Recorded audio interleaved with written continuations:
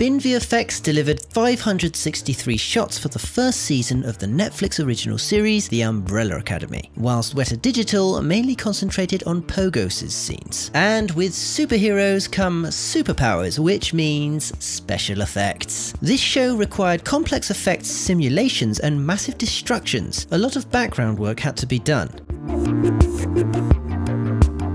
This was mainly accomplished by making use of practical sets and green screens. One of the most complex shots was that of the I Think We're Alone Now sequence in which each of the Hargreaves children dances alone in their rooms in a massive dollhouse scene.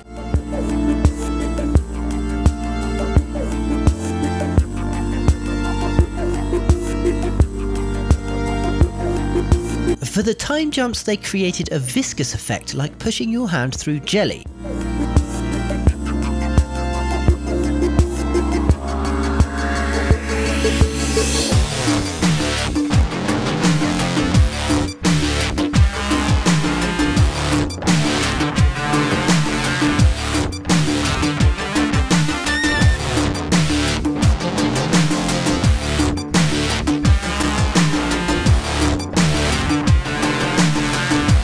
So much so that they dubbed the effect Jelly Vision.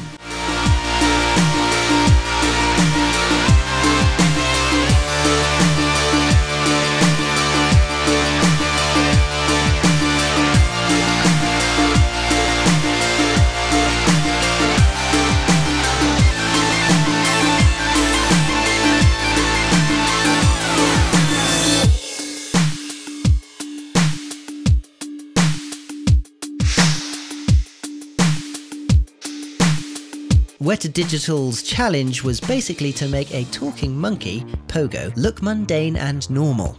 Actor Ken Hall dressed in a mocap suit and two 4K cameras off to the side of the main Alexa 65 provided environment and body references.